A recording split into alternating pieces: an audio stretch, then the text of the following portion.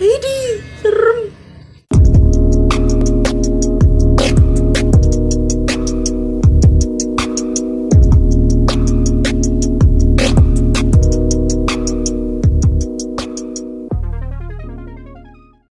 Assalamualaikum warahmatullahi wabarakatuh. Nah, jadi aku itu udah lama ya gak upload konten horor. Dan ini juga adalah video yang pertama yang aku upload di tahun 2021. Saya karena memang aku pertamanya itu upload video berkonten horor, jadi aku bakal memulai 2021 ini juga sama konten horor lagi. Dan so kali ini aku bakal reaction ya eh, video horor yang viral di TikTok. Dan ini aku juga searchnya berdasarkan like terbanyak. Dan aku jadi makin penasaran kenapa video ini bisa viral dan bisa dapat like banyak. Seseram apa sih penampakan yang muncul di video TikTok itu? So langsung aja, gak usah lama-lama kita langsung ke video yang pertama. Tapi sebelumnya aku minta dukungan kalian dulu buat subscribe channel ini. Caranya gampang banget, tinggal kalian klik tombol merah yang di bawah untuk membantu channelku terus berkembang lagi. Oke, jadi di video yang pertama ini ada mamah muda ya bertiga yang dua ini dasternya samaan. Dan ada apa teh panah gitu ya yang nunjukin ke arah jendela kita langsung play. Apa yang bakal terjadi ya sama yang dipanahin itu?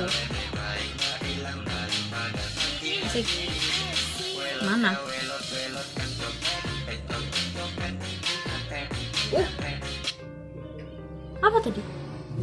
Lewat sih kayak pocong ya yang lewat gitu cuman itu kayaknya kendaraan deh atau enggak logisnya kendaraan kenapa bisa ngelewatnya di bagian atas ya? Buat kalian yang bisa jelasin secara logis komen di bawah ya. Kita lanjut ke video yang kedua. Nah ini ada Uhti berdua ya lagi tiktokan juga dengan background gorden gitu. Dan tetehnya yang paling belakang tuh udah nggak ada yang gerak-gerak di belakang. Dan eh apa itu anjir gerak-gerak. Gordennya gerak-gerak gitu. Langsung pada ketakutan dong langsung pada keluar. Apa mungkin itu serangga yang masuk? Tapi kenapa serangga bisa ngegeberin hordeng segede gitu gitu loh? Kalau kelihatannya sih itu gordennya berat ya jadi gak mungkin serangga kecil bisa ngeoyagin hordengnya. Kita lanjut ke video yang ketiga. Jadi ini tuh ada uh, keterangannya tiba-tiba skuter adik gua gerak sendiri kayak ada yang naikin gitu maaf itu pegangannya rusak barusan katanya cina orang play ya oke okay, lagi gua lagi tugas nugas eh eh eh eh, eh.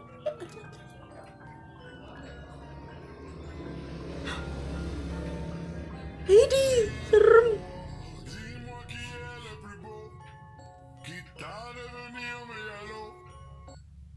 Dan pas kameranya diarahin ke dapur itu ada kelawar gede yang lewat gitu. Cuman mungkin ini lantainya lebih rendah kali ya jadi si rodanya tuh bisa jadi rodanya tuh bisa ngagorolong gitu.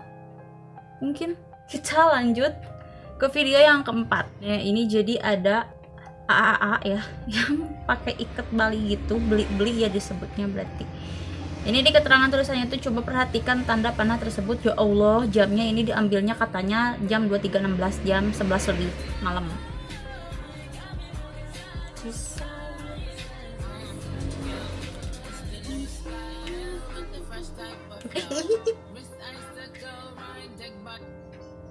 Oh tuh dong langsung kayak takut gitu sih aja itu apa yang gerak? Kucing? Kok kucing gitu sih bentuknya? Kita play sekali lagi ya.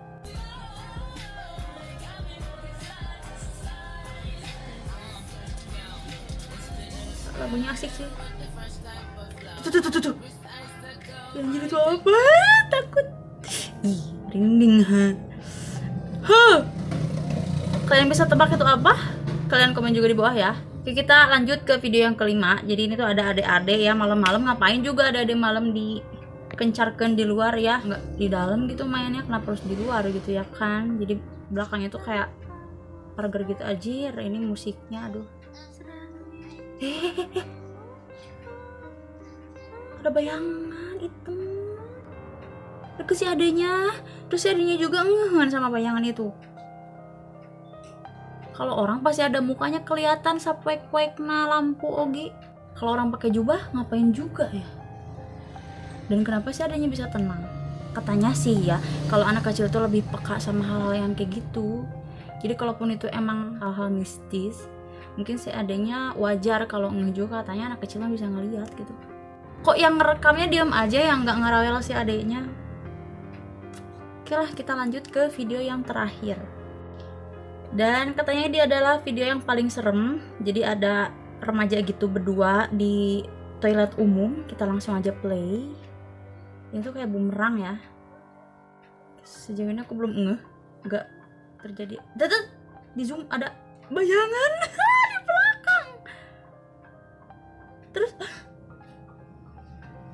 tempat sampah yang bisa kebuka tutup jadi tutupnya tuh buka tutup sendiri gitu itu nih tempat sampah yang diinjak sama kaki terus bisa kebuka tutupnya itu gerak sendiri anjir punten ya bahasanya rada you know lah kok bisa ya Oke kalian, kalian tuh tim mana? Tim mistis apa tim logis? Jadi apa serem video kali ini? Kalian komen di bawah. Video mana yang menurut kalian paling serem? Duh, kelanya. Hehehe. Kela ada kendala sedikit. Ya.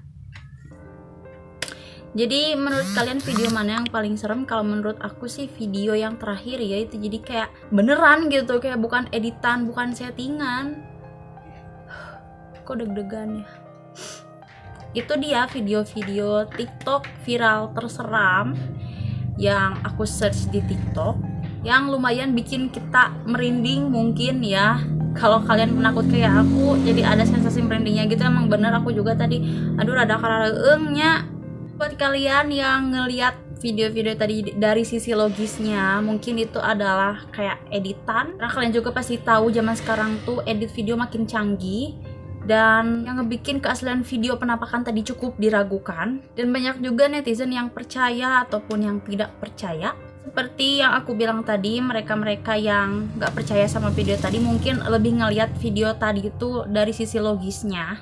Yang mana mereka tuh ngelihatnya hal-hal yang tadi kita anggap penampakan itu merupakan kebetulan yang bisa dijelaskan secara logika. Dan menurut tim anak magis ya kayak aku jadi eh ketika kita ngelihat video-video tadi itu kita mengkait-kaitkan sama hal mistis dan mungkin dari penglihatan anak indigo video-video tadi itu merupakan eksistensi bahwa makhluk-makhluk astral memang ada di dunia kita. Ataupun bisa jadi itu cuman settingan biar yang punya akunnya tuh viral dan seperti yang kalian tahu manusia-manusia zaman sekarang tuh banyak melakukan berbagai cara biar viral cenah ya jadi segitu aja mungkin video dari aku. Makasih buat kalian yang sudah menonton sampai habis dan jangan lupa klik like-nya juga komen. Dan buat kalian yang kepo sama videoku yang lain boleh kalian klik tulisan di atas untuk lihat-lihat videoku yang lain yang bermanfaat buat kalian. So, thanks for watching. Wassalamualaikum warahmatullahi wabarakatuh.